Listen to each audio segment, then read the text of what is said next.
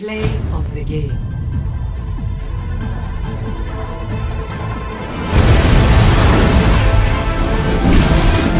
Justice reigns from above!